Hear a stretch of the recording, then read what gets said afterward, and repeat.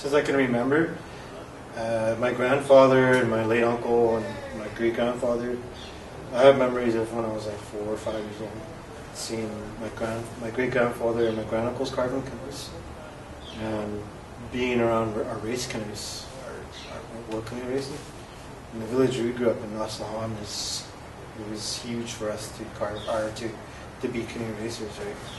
So as a small boy, I seen that around, and and in our house we had canoes stored like in our house, single man canoes. And my late uncle, he started building canoes, and you know the canoes always been around our house and part of our life since I can remember.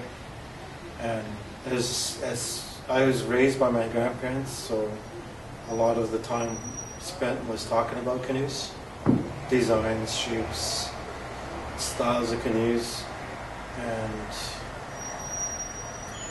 when I was younger uh, and I first started racing, they brought me around to all the canoe builders, my family, and they introduced me to these canoe builders. And they said, "You see this young man?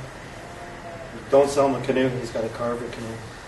He can't buy a canoe. He's from a canoe building family. He has to learn how to carve canoes." When I was like 16, 17, I, I thought, "How am I going to build?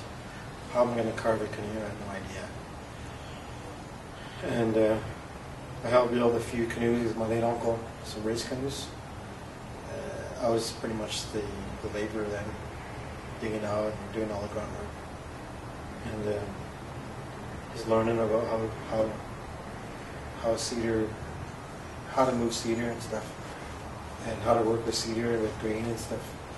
And when I was, one day I just said to myself, I'm going to carve a canoe. After I said it, I ended up doing it.